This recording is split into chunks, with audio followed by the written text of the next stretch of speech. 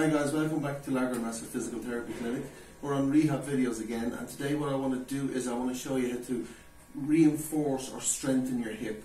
This can be for any age but I find if you can't do too much exercises I'm going to show you how to do it all lying face up and it strengthens the, we're going to work on the left hip today, yeah?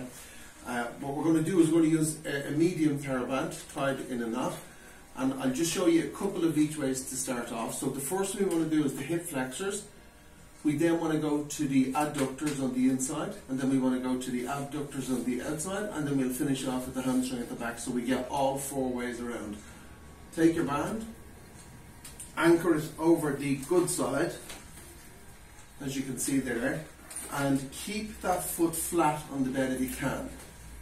The leg that you want to strengthen, the hip, place it inside the band and put it fully open around the knee so it doesn't roll up or down. Once you're in that position, you basically start with the, with the knee here and you go one, two, three, four, five, and you will probably do about three sets of ten, and that directly gets the hip flexors, the powerful hip, hip flexors muscles that go wrong in hip degeneration.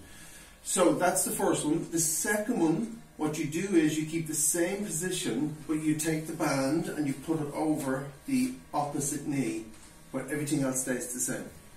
And all you do here is you push the leg outwards that you want to strengthen. So we're doing the left abductors, the glutes muscles here.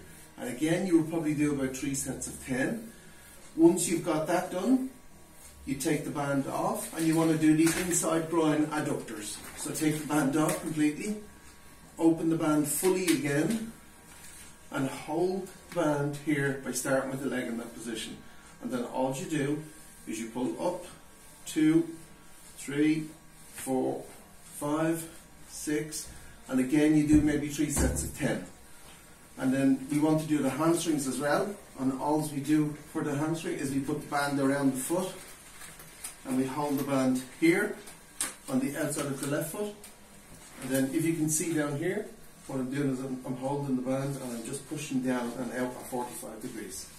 So again, you're anchoring with the right foot and you're keeping the left foot moving. So you're keeping the knee straight as well to make sure you get the abductors at the very back here, the glutes as well. If you want to get the hamstring, you simply change. Instead of going out, you go down and you bend the knee and that will get you your hamstrings. So do all of them all the way around, three sets of 10, and it will reinforce and strengthen post-operation or pre-operation. Cheers guys.